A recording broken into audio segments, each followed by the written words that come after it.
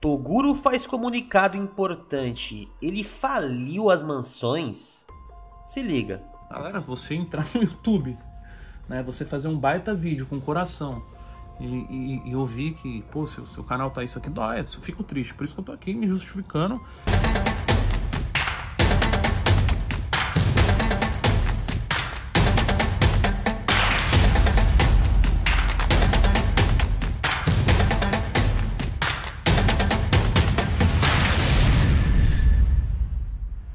Opa galera, canal do Regis na área com mais um vídeo exclusivo. E mano, esse vídeo tá insano. Então já se prepara que esse vídeo aqui, mano, vai fazer você dar muita risada, moleque. Já vem deixando o like pra fortalecer a gente. O like é importante, é meio segundo, é de graça. Deixa o likezinho aí e se inscreve no canal Porque aqui a gente não tem cucharra, filho. Aqui a gente fala de todo mundo mesmo. E nesse vídeo eu vou responder uma das perguntas que vocês mais fazem pra mim Lá no Instagram, né, que é o canal do Regis. Perguntaram muito pra mim por que que eu deixei de falar da mansão maromba, mano. Por que, que eu parei de fazer vídeo sobre os caras? Então eu resolvi fazer esse vídeo e explicar tudo, tá? Então vamos lá, mano. Há um tempo atrás eu participei aí da live da mansão maromba, né, mano? Da, da mansão live, na verdade, que é um podcast que eles têm lá dentro da mansão, onde o Toguro colocou uma administração nova pra tocar esse canal. E eles estão fazendo, mano. Tá meio bagunçado ainda, mas estão fazendo. E todo mundo sabe, mano, que eu sempre faço perguntas quando tem as lives, quando tem podcast, né? É, desde o começo dessa ideia, o canal do Regis sempre teve lá ajudando. Inclusive o primeiro podcast que teve na na Mansão Maromba, eu fiz mais de 18 cortes ali, né, ajudando a fortalecer o canal. E sempre que eu faço doações, eu faço doações de 20, 50, 100 reais. Inclusive naquela live que teve da Mansão 3M agora, eu doei mais de 600 reais, tá ligado? Como o hype tá baixo, não tô feliz com o conteúdo, resolvi doar várias vezes aí o valor de 5 reais por pergunta, tá ligado? E foi lá que a nova administração do podcast da Mansão Maromba começou a ciscar pra cima de nós, mano. Se liga aí, eu mandei a primeira pergunta e olha o que aconteceu. É, eu vim desapegada do Maranhão. Desapegadíssima, sem ninguém, graças a Deus. Senão já tava querendo voltar. Chupa chefe. Eita, Regis. Ih, rapaz, Regis tá assistindo. Não, não, porque 5 reais é muito pouco, né, Ih, E aí, galera, pra quem não sabe, né, mano, eu apelidei esse rapaz aí, que é o administrador aí da mansão, agora da, da mansão live, como cabeça de r... Ele falou agora na segunda farpa que eu ganho mó dinheiro com ele e eu deveria doar mais. O Regis. Ô, ô, ô, Regis, qual foi?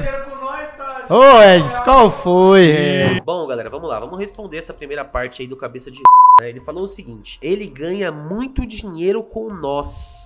Nós quem? Que nós nunca vimos esse cara na vida. Tá gozando com a bola dos outros por quê? Não, não entendi. E aí eu fui pra cima, né, mano? Pra conhecer, né? Quem que é essa pessoa aí que o Toguro colocou pra administrar as lives da mansão. E como eu já imaginava, né, mano? É uma pessoa que tem projetos paralelos. Tá lá pra sugar de alguma forma. E esse particularmente, mano, ele só divulga mulher pelada no Instagram. Dá uma olhadinha nessa resenha aí, mano. O cara tá anunciando vibrador nas redes sociais, mano. Vê se eu posso com um cara desse. Meu Deus do céu. E como se não fosse pouco, né, mano? Ele ainda comentou que ia derrubar o meu canal. Dá uma olhadinha aí, ó. Inclusive, fala pro no primeiro link da descrição colocar a mansão live em todos os vídeos que ele fizer, senão a gente vai, vai travar o canal. Olha, aí, ó. Então, carecão, mas antes de derrubar meu canal, primeiro você tem que fechar o cu e parar de vender vibrador na internet, né, mano? Que tá feio. Bom, galera, e depois disso eu comecei a dar uma farpada nele lá no chat, tá ligado? E aí a galera que tava assistindo, todos, sem exceção, começaram a xingar muito e dar dislike na live também, tá ligado? Só que aí ele ficou em choque e veio fazer um comunicado no microfone do Diogo Letrado. Se liga aí, ó. Porque assim, o Regis fala pra nós que tem que ter humildade e tudo mais, não é? Aí a gente fala aqui agora, a gente tá brincando com ele, a gente fala do, do canal, ele tá todo nervosinho aí no, no chat falando que vai derrubar o canal, que eu não tenho o poder de fazer isso. Será que não? Ele tá usando os cortes dos nossos vídeos pra fazer isso, a gente tá sendo legal com ele a ponto de não reclamar, de não fazer nada, de interagir, porque é uma coisa que a gente quer fortalecer a comunidade, não só o canal de Regis, como todos os cortes. A gente fala pra fazer o mínimo, que é colocar o link na descrição, na primeira linha, e, e o cara que acha que isso é muito, aí fica a reflexão, né? E depois quem que não é humilde aí no negócio?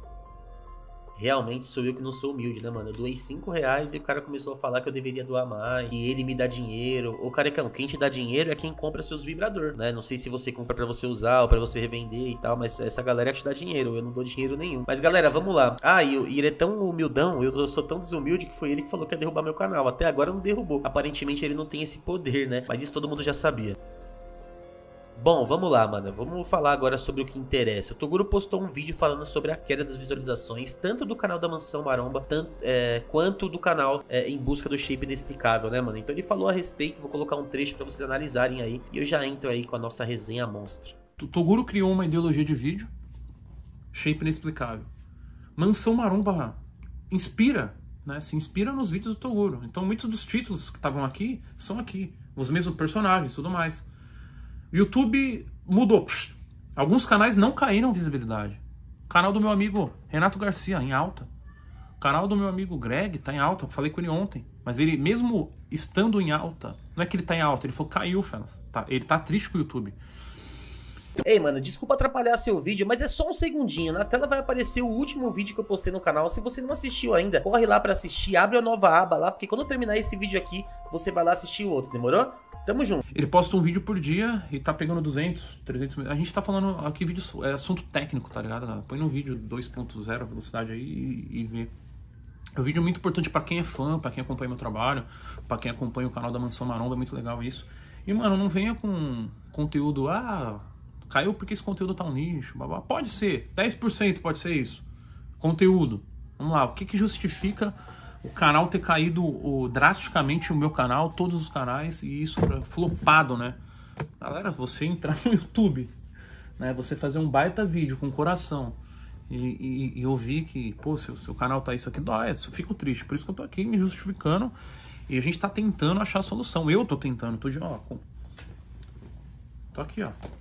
Tudo isso é soluções, ideias, projetos, né?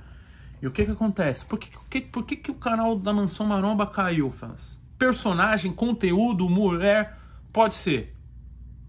Isso eu acredito que pode ser, beleza. Tá no plano de trocar também. Vamos reciclar a metodologia de postar no YouTube. Mas primeiro eu preciso entender o que, que o YouTube quer. Pra gente ter vídeo de milhão, trilhão. Sabe, fãs? Eu preciso entender o que, que o YouTube quer da gente. Pra eu tentar entregar para ele. O que vocês querem? Ah, eu quero essência, mas a essência batia 50 mil visuas vídeos, tá ligado, fãs? Quando a gente, todo mundo fala, oh, eu quero vídeo antigo, personagem de treino, a gente postou muito isso. Mas nunca teve o acesso que teve em julho, com o conteúdo que era, tá ligado, fã? Pessoal, quero dar minha opinião sobre isso daí, tá? Vou deixar até algumas, alguns fatos aqui, né? Que, que, na minha opinião, levam a essa queda de visualização. Mas antes eu quero colocar para vocês também a opinião do meu amigo aí, Biel do Hype, ele que tem um canal de notícias também. O link do canal vai estar aqui na descrição, ele aborda muito o conteúdo da Mansão Maromba, né? E ele falou também a respeito do que, que ele acha sobre essa queda das visualizações. Então, pessoal, sobre esse atual momento da Mansão Maromba aí, né? Tudo que vem acontecendo nos últimos tempos aí, nessa queda de visualizações, é claro que não é somente o canal da Mansão Maromba, né? Tem muitos outros canais também passando por isso, mas seria muita injustiça, né? Julgar julgar apenas o algoritmo do YouTube, porque como vocês mesmos sabem, né, o conteúdo da Mansão Maromba já não está como era antes. Tem também aí nessa troca de personagens aí com bastante frequência, né? Um personagem entra hoje, amanhã já está indo embora. É, o pessoal não consegue, né, se identificar com um determinado personagem, não consegue criar uma afinidade para poder continuar assistindo aquele personagem. Então acaba ficando aí né, uma coisa sem entender, né? O pessoal não se identifica com o personagem e consequentemente, né, o público acaba perdendo o interesse aí em estar tá os vídeos do canal. Bom, galera, vamos lá. Tem a ver com o YouTube? Sim, 50% que também tinha caído minhas visualizações aí, então eu sei que o YouTube mudou muito mesmo, tá? Mas galera, eu garanto para vocês, também tem muito a ver com conteúdo. Primeiro, Toguro não conseguiu ainda substituir a altura, a saída do, do cremosinho, da Yarla, até mesmo da japa nordestina, né? Mas tudo isso tem um motivo, mano. Eu já tinha falado sobre isso algumas vezes, né? Que o câncer, na minha opinião, são os contratos firmados com os personagens, tá? Isso deixou a maioria dos personagens ali que tem contrato fechado na zona de conforto, entendeu? Então eles já estão com contrato e entre aspas aí, eles já se acham grandes, porque já tem 800 mil é, é, seguidores, é, 500 mil seguidores, já tão grandão, e, e aí eles, eles não querem mais ajudar ninguém, tá ligado? Pra eles tá bom. Pra eles não é interessante ter uma pessoa que entre agora um personagem novo e hype. Pra eles não é interessante. Vai ser uma sombra, uma concorrência desnecessária, entendeu? Né? É, essa é a minha opinião. Então, essa parada aí dos contratos Pra mim isso daí é um dos cânceres aí que vão impedir, né? Vão dificultar a, apari a aparição de novos personagens que hypem muito, como o Cremosinho, o Menino do Imbu, entre outros. E eu posso provar, tá? Posso provar que tem uma panelinha lá dentro que não deixa outras pessoas crescerem. E é bem simples, é fácil provar isso daí. Se liga nesses vídeos aí, ó. Vou dar o primeiro exemplo aqui, pessoal. É o seguinte, a Jaine é uma das participantes que fazem parte da atual panela da mansão. Porque para ela não é interessante que, por exemplo, uma menina roto ou uma boca da Nike cresça. Seria uma concorrência desnecessária, concordam? Bom, como vocês viram aí, eu fiz uma gravação rápida do Instagram da Jaine Tá? Vocês viram ali que a maioria das fotos dela ou é sozinha, né, mano? Ou é com alguém que já tava lá há muito tempo, no caso do Primo Virgem. Pessoas que já não precisam do collab de ninguém, né? Vamos pegar um exemplo aqui, que é do Thiago T-Dog. Também é um participante novo, né, mano? Tem, completou um mês e pouco agora da mansão. Dá uma olhadinha nas publicações do moleque, ó. Todas as publicações do cara tem união, tem pessoas, olha aqui, ó. É um marcando o outro, um ajudando o outro, um brincando com o outro, ó. Não tem nada dele sozinho. Então, mano, tá bem claro aí, né? É, é, as pessoas aí que querem compartilhar, que querem se ajudar a crescer. E as pessoas só pensam em si, principalmente agora, porque já estão com um contratinho assinado, né, papai? Tá tudo bonitinho. Então não precisa ajudar mais ninguém, né? Até porque o medo dessas pessoas é que novos personagens ultrapassem eles no hype, né? Automaticamente deixando eles menos interessantes aí pro Toguro ou pra parte administrativa da mansão. E aí eu fico achando engraçado, mano. O seguinte, a galera entra na mansão com quase nada de seguidores. Uns entram com mil, dois mil, dez mil, vinte mil. E aí vai pra 500 mil, 700 mil. E se acha no direito de negar um arroba pra alguém que entrou do zero. Tá ligado? Pensa só, galera. Onde que tá aí a... a, a... Mano, cadê a humildade dessa galera que entrou há pouco tempo e não tinha porra nenhuma? Entendeu?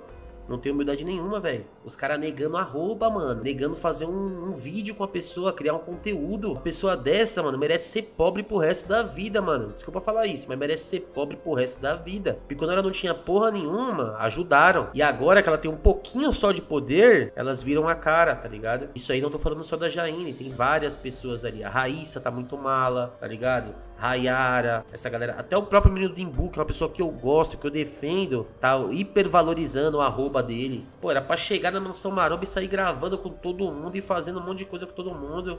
Essa crítica é pra todos. É para todos vocês aí que são grandes aí dentro.